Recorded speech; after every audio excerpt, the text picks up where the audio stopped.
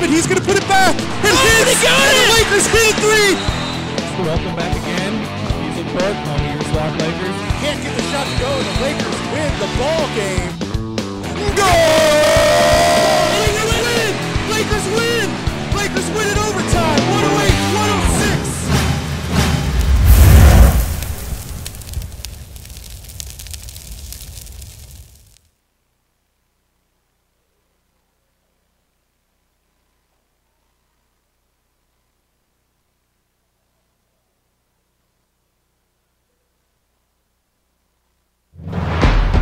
Do you like to work with metal, fire, electricity? Would you like to make money doing it? At Southwestern, we can help make your dream a reality. With our degree and certificate programs in welding, you'll be prepared for a career in the welding and fabrication industry in as little as a year. Check out our website and let Southwestern spark your career in welding today.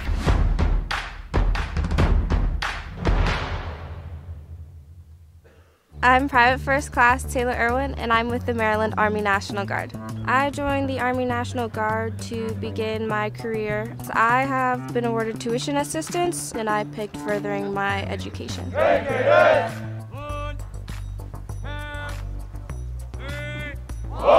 Right now, we're just going through the basics. We're doing the confidence course. It's to get over your fears, basically, and to see how far your team has come. It takes a strong leader and strong drill sergeants as well. You're gonna meet some really cool people, and they're gonna help you get through it either way. So it's gonna be really fun.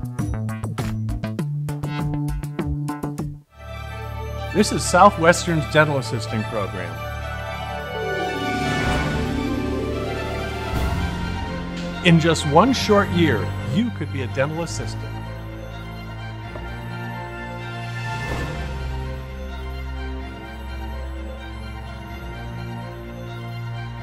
Sign up now for your one year dental assisting certification.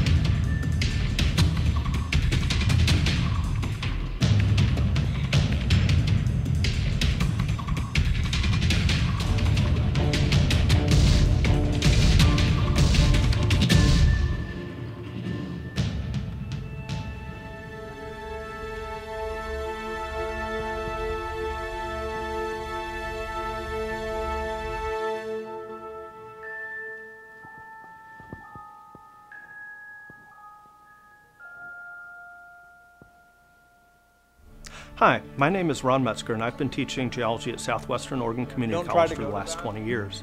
It's an exciting time to be teaching in the health and science fields at SWOCC as we work towards funding a new health and science facility at the college. Colito Hall is the building I work in, and it houses our science labs. It was constructed in 1965, and the labs have undergone relatively little updating since that time. Over the years, we faculty have provided an exceptional foundation in the lab sciences. It's relatively easy to see how an investment in the health side of the facility will pay dividends in our local communities. The added lab and class space will allow additional cohorts of nursing students and new programs. This will allow our local residents to go through the programs and earn family wage jobs at Bay Area Hospital and all of our other local healthcare providers.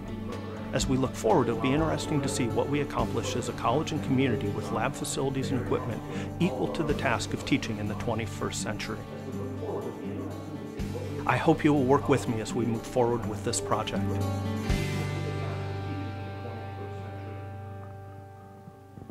I hope you will work with me as we move forward with this project. So thankfully, we just signed the contract for the new building. So like any day now, Giant Me gets to go away and we don't have to use it. Hopefully, I will be really, really, really happy about that. Uh, some of you are young enough that if you choose to go here in a few years, uh, you can take classes in that nice new building.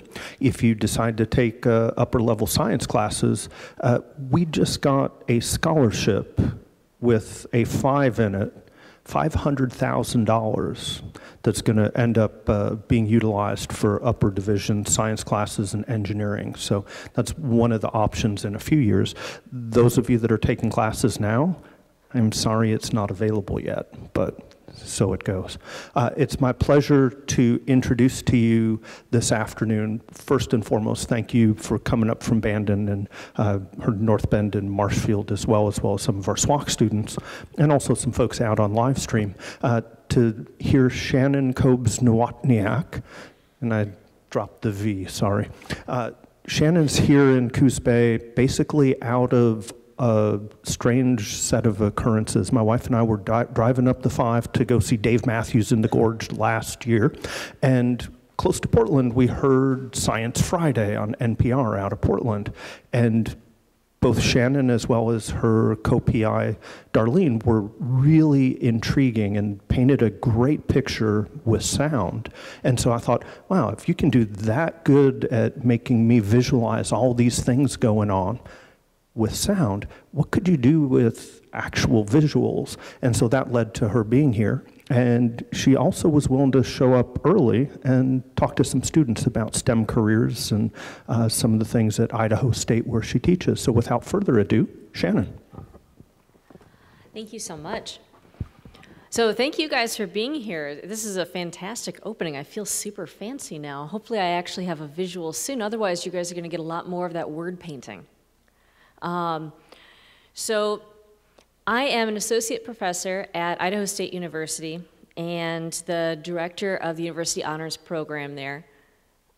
And I've been really, really privileged to be very involved with a lot of NASA research lately. So I want to show you guys some of that, and I want to convince you why you should go into geosciences and why you should transfer to ISU from here.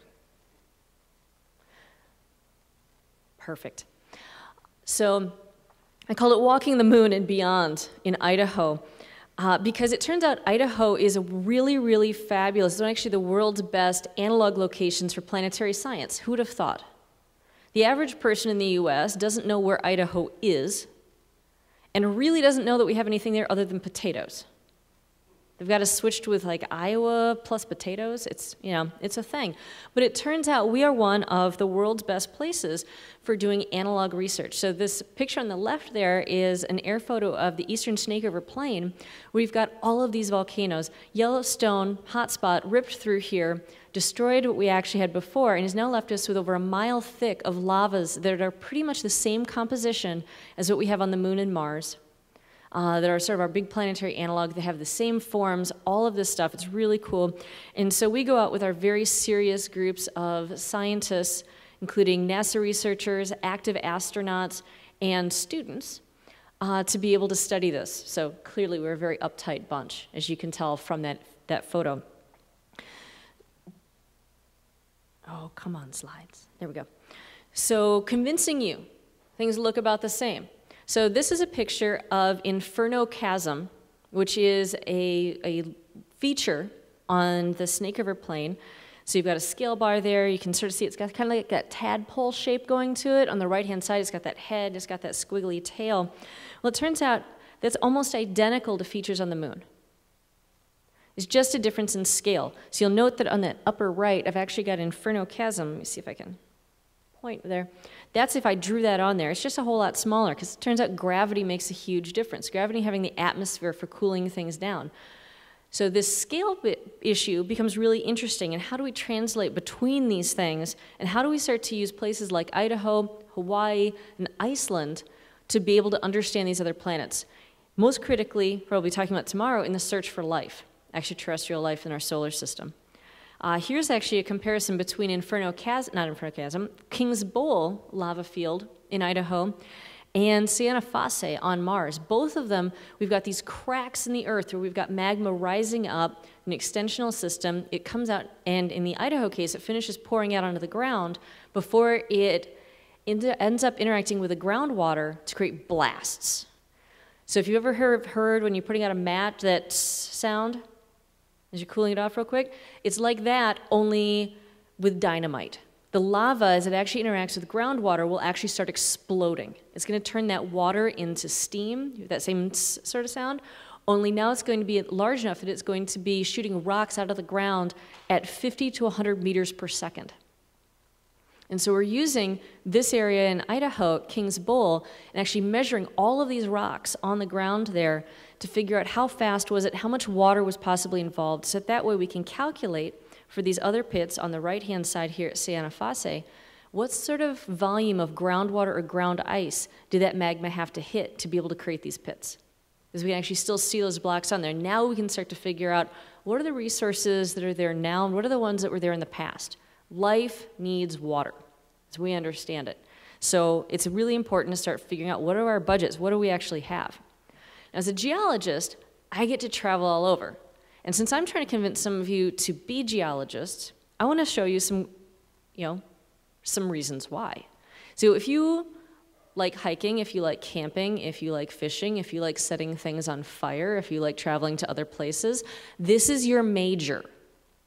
This is what you want to go into and study. So this is actually a little grainy, but that's a night shot looking at the Kilauea Lava Lake in Hawaii on a class trip with students. We went there and we spent a week hiking around the volcano, uh, looking at these different lava features and measuring them. Um, we're actually doing work, as I was saying before, like with NASA. This is actually the first version that they had of these simulated astronaut backpacks they want us to be walking around in. If any, if any, raise your hand if you've ever gone backpacking, like even just like day hiking with a pack. All right, good number of you. This is an outdoorsy group. Every last one of you should be looking at that backpack and feeling super judgy. I mean, look at that. Doesn't that look terrible? I mean, think about the comfort fit. Look at the distance between my back and where that metal frame starts. Now think about the fact that they wanted me to wear this while being a fake astronaut in an area that had gusting winds up to 40 miles an hour. I'm lucky I didn't fly away. So we end up having to pull all of this knowledge. We actually had to fight with NASA about this design. Their answer was, well, it, it worked in the Desert Rats program. And my answer was, I can find you any student from you know, Idaho or the broader Pacific Northwest that can tell you you're an idiot. Because none of us are going to wear that. This isn't, this isn't healthy, this isn't safe. So in the end, they had to fly a NASA engineer from Kennedy Space Center to Idaho so we could make him hike around on a lava field so that way within 10 minutes he could look at me and say, we can't use that backpack. So there's all of this, this learning that you're already bringing with you that can actually be applied to this sort of stuff. Um, this map is actually just I like to tell people the sort of places I've gotten to go. So every single star is somewhere where I've chased volcanoes or that I've gotten to work while chasing volcanoes. You'll note that there's probably not a whole lot of volcanoes in the east coast of the United States. But in the subsea project, which I'm going to be showing you guys a couple videos from, we were had mission control set up there in Rhode Island to be able to remotely operate submarines over in Hawaii that were collecting rocks off of underwater volcanoes a mile deep. So I've gotten to go all of these different places. So again, if, if you like to travel, if you've got that adventure bug, uh, this is me in front of a volcano erupting in Japan. Uh, this particular one um, erupts sometimes two, three times a day, and it becomes a huge mess for ash in this area. But it also was bringing nutrients to soil. So some things that we have to do as a geoscientist are not just worry about, hey, this is really cool, it's blowing up, but how is it affecting the community? What are the positives? What are the negatives? And how do we actually interact with the people who are here? So you actually also need to start paying attention to culture and aspects with that. Um, we're also just the dirt people. Or if any of you guys watch uh, Big Bang Theory, you'll also know of us as the Kardashians of science or the rock lickers It is a thing. We are proud. Um, we use a variety of tools in our trade. So, everything from going out with the two handed sledgehammer to pulling up the supercomputers. We actually, over at ISU, have full access to the Idaho National Lab supercomputing system. So we just tap into that and we're able to model things and actually understand these larger systems, analyze all of this data that we're bringing back from the field. Our department even has its own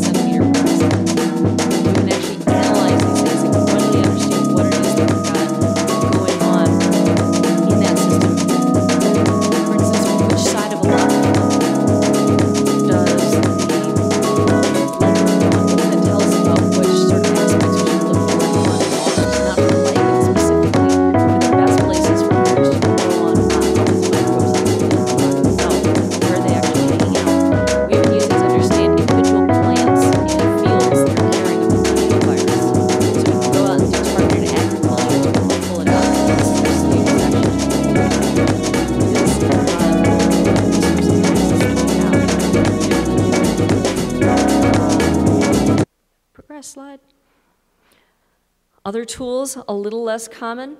This is Hercules, the submarine that we're using to study the seafloor in the Pacific. So this is it being launched off of the deck of the exploration vessel Nautilus. We would launch at midnight, and it would take us about uh, four hours to get to the seafloor, just dropping straight down. You can see the people there for scale. These things are fairly large size, is being towed on a tether by the research vessel. And it actually has another uh, submarine that goes along with it that's entire job is to just hold the cables, to give the Hercules enough space to be able to move around, to navigate, and do what we're asking it to do, which is use its robotic arm to do things like this. That's actually a crowbar that its robotic arm is holding onto, and it's prying pieces of rock out of this volcano a mile deep. So you can see a little bit from I can't tell like how clear the image is from your guys' side. From my angle, it's a little blurry, but you see sort of that brownish color. That's actually pyrite. That's an iron sulfide that's precipitating out, mediated by these microbes that are down there uh, that are basically pooping it out is they're interacting with this hot water coming up through the rocks and the actual surface water uh, there in the ocean, and it's creating these veins of it. So we're actually popping that out using this super high-tech crowbar uh, being wielded by this very, very advanced robot that we're controlling from the surface. Uh, we're looking at where volcanic eruption columns go. One of our projects right now is trying to look at on Mars, where could the ash have gone from a volcanic eruption column, and could that actually be changing the hydration in the soil system, or the regolith that's up there, that could make areas more or less habitable to microbes that actually survive off of those things to eat. All of those bubbles in the volcanic plume and the, the pumice that comes out, those are made by water vapor. So, how does that change the nutrient balance that we have going on up there.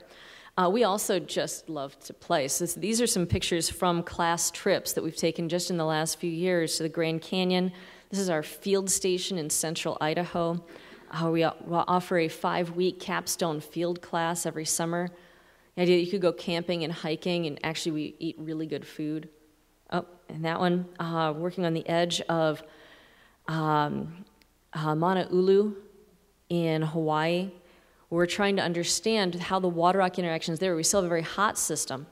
We've got hot water coming out of the ground, interacting with the rock, is creating areas we have microbes actually living. They're concentrating them up. And we have evidence from uh, the rovers that are up there right now on Mars of having past hydrothermal activity like that. Home base area on Mars is a really good location for indicating some of that what are we actually looking for when we're there? Because it's not enough to say, okay, the water's got the stuff that's living.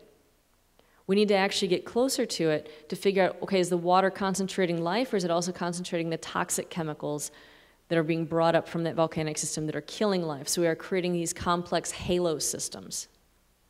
So when we go up with a manned mission to Mars, which is you know, the plan, You guys are the right age to actually be part of that. Which rock do we pick up? We can't pick up all of them. If we only get a certain amount of mass, how do we pick up the right rock? And how do we bring that back to Earth? And so that's why we're motivated to do all of this sort of work down here. Now, my bias, of course, is towards volcanoes and towards space exploration, frankly, because I think they're just fantastically cool. But geoscientists work in a whole range of things. So a lot of them go into oil and gas or mining or environmental services, uh, water rights and protection, cleanup, making sure that we actually have the resources that we need to be able to keep going forward. Even better, they get paid. So I love it when I'm actually recruiting students in my own program that I get to tell them it's not just a cool degree, it's not just that you get to camping a lot as an undergrad, is that you graduate and you're actually making solid money on the outside. So uh, median pay in 2012 was around $90,000 per year. That's for all geoscientists. We find, and this is consistent with what we've got up at our school, and I'm sure it's probably consistent with what Ron's got down here too, bachelor's degree seeking, bachelor's degree students in geosciences come out of school with an average starting salary of around forty-five to $50,000 per year. If you do a master's degree, which is two more years and it should normally be free in our field, so you're not having to pay more student loans any of the rest of that, suddenly your starting salary option jumps up to eighty to $90,000 straight out of school. We've got students that are coming out of our programs that are signing contracts for six-figure jobs that are being held for them. One of the students in my working group has already signed a contract with NASA. She starts down at Johnson Space Center the day after she defends her thesis. It's not bad. So we've got a lot of really cool things going on, and I'm really concerned why this is actually jumping slides on me. Um, so why, why ISU? You got a real cool program right here. But I want you to consider us also for next after that. A lot of people don't realize that leaving your in state range doesn't necessarily have to mean taking on the dreaded out of state tuition. There's actually a Western Students Exchange, it's called, it was WUE, uh, pronounced WUI because we couldn't come up with a better acronym, unfortunately. But that means that a student coming from Oregon going to Idaho State still pays the same amount that they would pay at Oregon State if they were in state tuition. Um, we have a department that is entirely focused on traditional field work coupled with cutting edge technology. So it doesn't matter if you are a full on computer geek, all the way through the person who wants to hike off into the woods and come back two weeks later with a bag full of rocks and a giant furry beard, whether you're a man or a woman. We all work on our beard growing. This one's been going for years, by the way. Yeah, it's not coming in very well. Um, you know, we, we have that full range of opportunities out there. We've got internships. We've been sending students on internships to NASA, to mines, to oil and gas, to environmental groups. We actually work directly with the Department of Environmental Quality, uh, as well as tribal organizations that are right there in Idaho to create these opportunities. We want our students doing this stuff while they're there. Our students also have opportunities for career path internships. So somebody who's transferring from somewhere like here would be considered extremely competitive for a $5,000 internship immediately upon transfer into ISU to actually do work in their field of study and get paid for it while they're there. We also are outdoor rec people. So the picture there for the downhill skiing, that's about 13 miles off campus. We've got a world-class Nordic Center. If you're a hiker, a mountain biker, all of that, we've got it right there in town um, some basalt cliffs right in town that's totally free climbing for students, including all of your rentals. All of this stuff, and it's actually really cheap because Idaho hasn't figured out money yet. You know, I mean, we're not really going to accept potatoes in exchange for things. We're, we're a step above that, but not by a lot. So it's a really affordable way to have an incredible education and get to have a lot of fun while you're doing it, to then prepare yourself for a field that's growing faster than the rest of the US economy, that has jobs, and that actually pays reasonable money for those jobs. Uh, to give you opportunities to travel all the world, to be engaged with all of these different topics and problems in these complex situations uh, using all sorts of crazy tools. So I want to invite you guys to get involved. I want you guys to be the next generation who's actually pushing this, who's getting us that new footprint, not on the moon, but on Mars. That is working out how do we actually get there? Which rocks are we picking up? How do we actually keep people safe on Earth? What do we have to do to make sure that we've got safe drinking water, that climate change is, is combated, that when we're mining resources, we're not just dumping stuff into the ground. We need to we're not at a non-mining state, so how do we actually do this in a way that protects the rest of the environment and the rest of our communities? So I want you guys to be part of that and helping us to create all of this. And you can do that at the bachelor's, master's, or your PhD levels, depending on how far you want to go with it and what you want to be able to specialize in. I mean, you, you could even be like Ron and be chasing dinosaurs. I know that's not your actual thing, but it's, it's paleo. And you know, those are just your real big ones.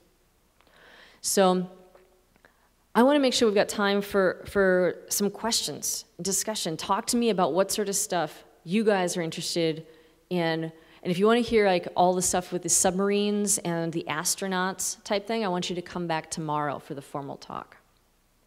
So what do you guys got? Talk to me.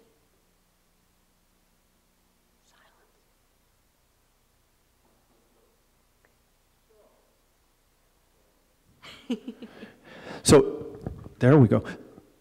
The microphone's actually kind of quasi-important because if anybody's out there listening on live stream, if they don't have the sound, they don't have the sound, and then it seems kind of wonky. Anybody got a question?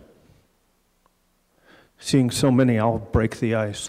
Uh, so if I was like a whole lot younger than I am now, and I was either in high school or I was just starting at a community Hi, college. my name is Ron what would be and the I've been most teaching geology important at Southwestern Oregon classes Community College for the that I should 20 be years. thinking about It's taking an exciting right time to be teaching in the health and science field. You know, it's always a good place to start with your general education.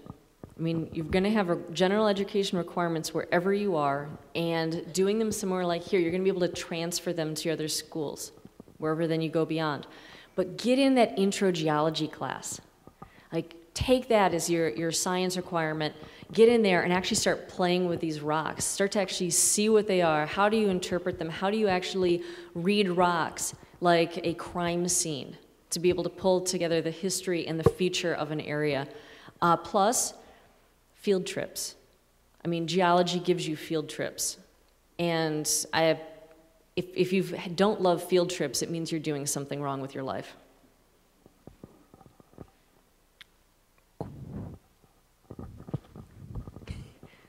You know, What could go wrong if we throw the mic? I mean, come on.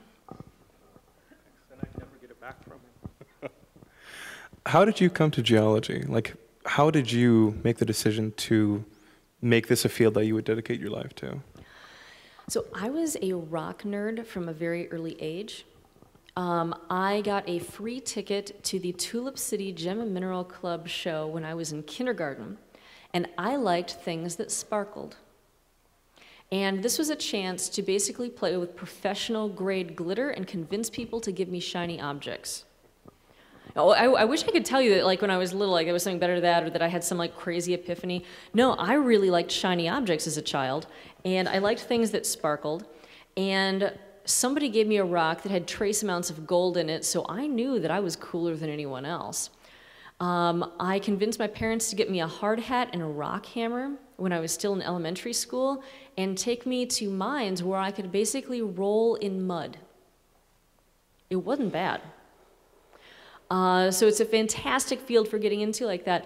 But the truth is, is that most geologists have no idea that they're going to be a geologist until they take their general education science class in college. Because schools don't really teach geology most of the time. Very few schools offer actual geology classes. Most schools in the US don't give you anything like that at all. And so most students don't find that that's their path until they get a class with somebody like Ron who shows them what they could be doing and what you could be going out and playing with and that there are actually jobs in this. Um, so that's actually a really common way to get in.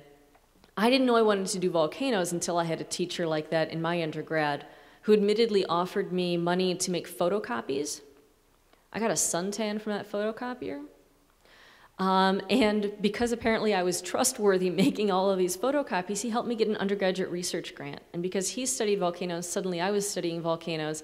And even as a geology major, somehow it had never occurred to me that that was a thing. But I fell in love with it. I mean, the, fa- the fact that I'm allowed to study things that are mountains that blow up on their own is phenomenal. Um, you know, and so it's just sort of kept growing as I get more into it. But there's a lot of places for, where people join in. And if you hadn't thought about geology before, that's totally fine. But we are secretly your major. You just haven't found us yet.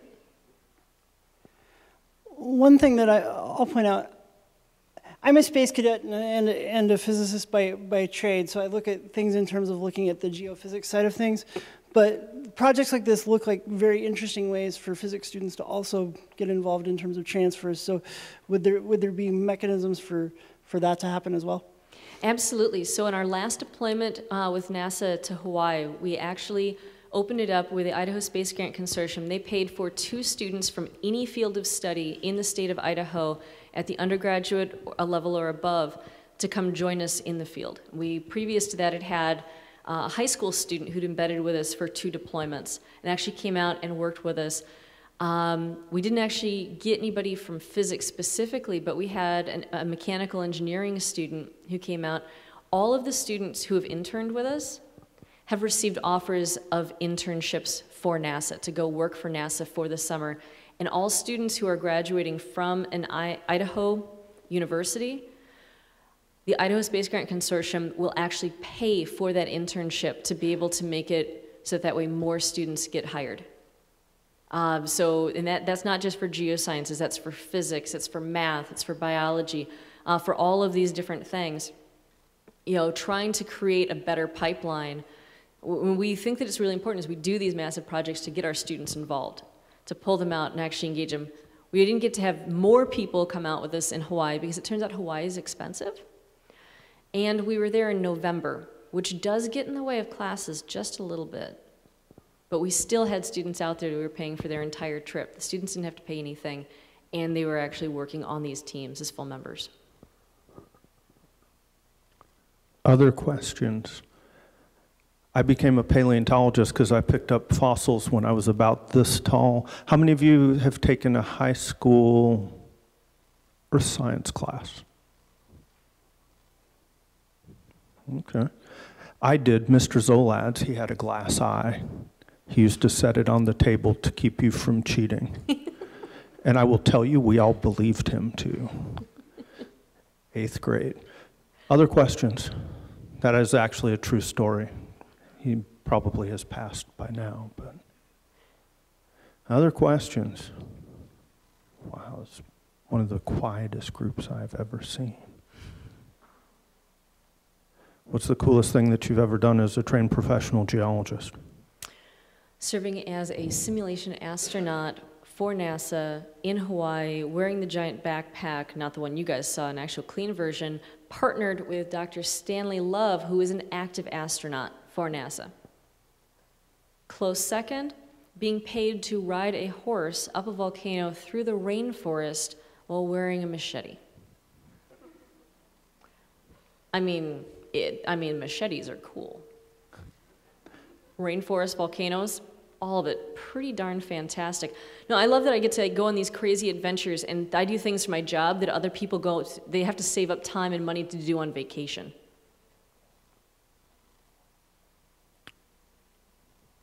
Any questions? And was there a hand Oh. right there?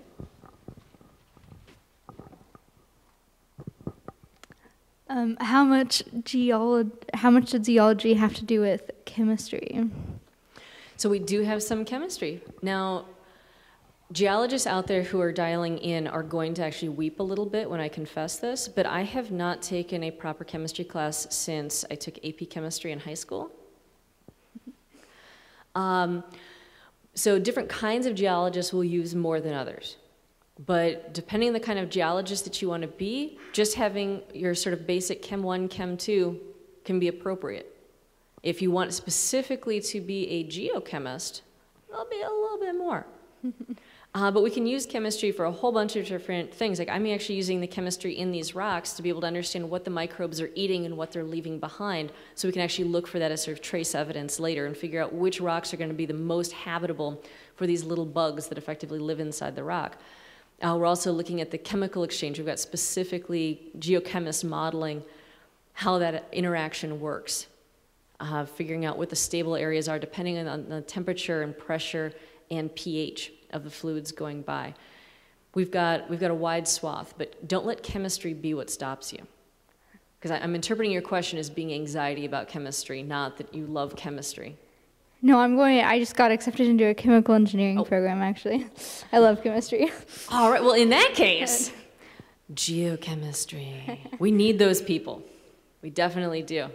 Uh, ge- geology is great because it's a nexus science. It uses chemistry, it uses biology, it uses physics. So if you kind of like science in general, but you're not certain where you are in that spectrum, again, you're actually a geologist. We're the ones who actually take all those things and actually use it and do things change rivers. Thank you. How much math do I have to take? Ooh, math. so, so math, like chemistry, math. it really depends what you're actually trying to be able to, to focus on and do. So, in my particular field, turns out volcanoes are made of math. Because like, there's only so much you can do to like get inside of a volcano without the whole like death thing. Mm-hmm that's just not great. And so if you're going to actually understand a volcano, you actually actually have to do some more math. But there's other parts of it. So I actually went through partial differential equations. But there's also like all kinds of geologists who are doing like just their first calculus class. Maybe they were using statistics more, things like that. So there's a variety of, of levels that you can go depending on what you want to actually focus on. Uh, I was wondering if you've ever gotten to use explosives to collect rock samples.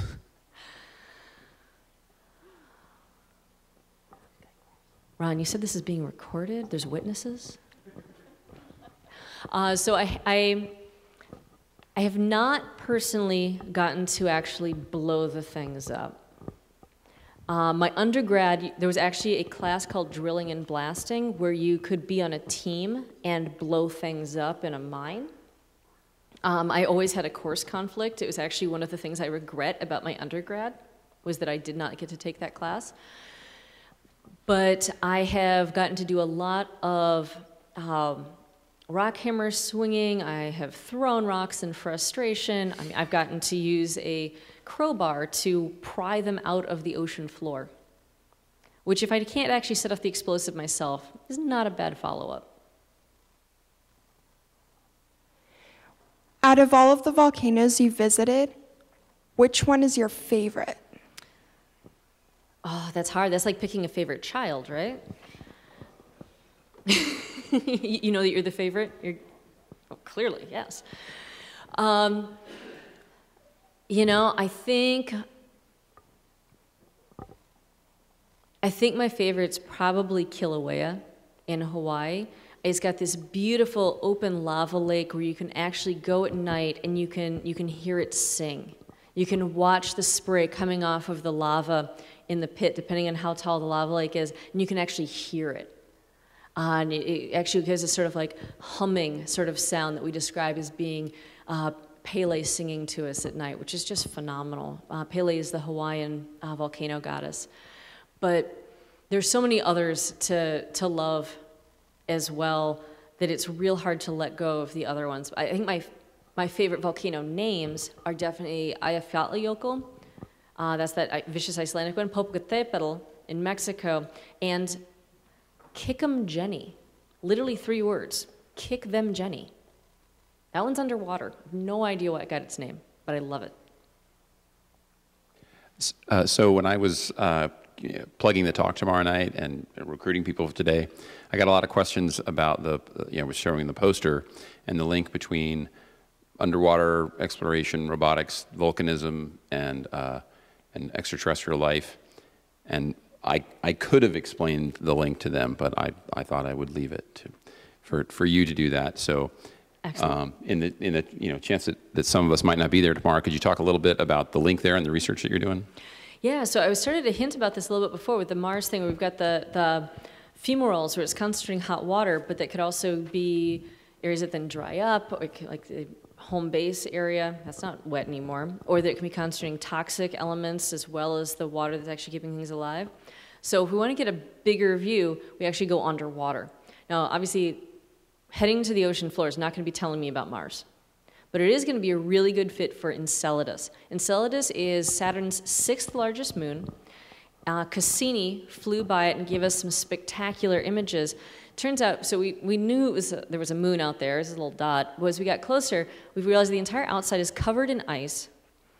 There's a liquid water ocean underneath that ice and then a rocky interior. The south pole of Enceladus has giant geysers that shoot out and have actually created the E ring for Saturn. And when Cassini went through, it was able to, with its uh, spectrometers, determine that it's salt water with simple organic molecules in there and silicon nanoparticles that suggest that we actually have warm water rock interaction that's going on on the seafloor, just like we have at isolated submarine volcanoes like we have at Loihi off the coast of Hawaii. Most of the research that has been done in the past in the deep ocean in volcanism is concentrated on the mid-ocean ridges. We've got these big spreading centers, you got the black smokers, you got all these like weird, crazy colonies of things. But the temperatures there is so hot, it's actually not a very good fit for places like Enceladus. Also, Earth is basically the only place we found that we have documented plate tectonics. So if we're going to try and study some other planet, going to one of these plate tectonics places is kind of a poor choice. So the temperature and pressure conditions at Loihi are almost spot on for what they should be based off of physics on the seafloor of Enceladus. So we're trying to use that area there to understand these water rock interactions, what the actual microbes are that are living in the rock that are being swept out by these warm fluid vents, um, and what they're actually doing to the rock in the process. We have uh, it's only maybe 10, 15 years ago that we started to realize that all of the rock on the seafloor, so all, it has glassy rims on it because it cools so quickly in contact with seawater. There's microbes that eat that glass. We hadn't realized that before. And so it's this huge uh, biome that we didn't even realize existed until maybe 15 years ago. So now we're still trying to understand what that is. What is the habitable space? What are they actually surviving on? What are they using? How do they actually survive? How are they infiltrating these areas up to 300 meters below the sea floor? I don't mean 300 meters deep underwater, but below the rocky sea floor. If these are areas that they're not getting that solar energy coming directly to them, they're getting these weird extremophile cases. What does that mean for what we could have in somewhere even more crazy like Enceladus? So we're trying to understand Enceladus by using this area. And it, could be that Enceladus is perfect for life, but nothing lives there. Just because something is a really great house doesn't mean somebody lives in it. So we want to first understand what are the conditions that would make it a good house, could things actually be there, and then from there, as we're continuing to work out how would we actually test for critters there to make sure that we don't introduce anything by accident and contaminate Enceladus itself. Let me throw out one quick extension with that. You mentioned the, you mentioned Enceladus, but would this have applications to things like Europa with the NASA Europa Clipper coming? Absolutely. Europa is, Enceladus and Europa are basically like joined together as being these top locations in the search for life in the solar system because they've got this liquid water situation protected underneath these like fully encompassing um, ice surfaces. Uh, both of them are being targeted for additional exploration. There's also a lot of people working on designing robots that are going to be capable of, say, landing, drilling their way through ice, and then being able to crawl around underneath the ice to collect information and then find their way back out. So there's testing of those sorts of robots that's going on um, in like Arctic and Antarctic sea ice environments right now to be able to figure out, okay, well, if we could get something there, could we even just do something, or if we just now standing on top of an ice ball? Uh, so the stuff that we're doing is, is equally valid for Europa. Just Enceladus has those giant four cracks in the South Pole that make access a little easier. Since Trent mentioned that many of our Bandon folks, if you are interested in more of that and can't make it up to Coos Bay, uh, it will be live streamed as well. So you do have the capacity either tomorrow night or in the future to, to um, tune into that. Any other questions? Hearing none.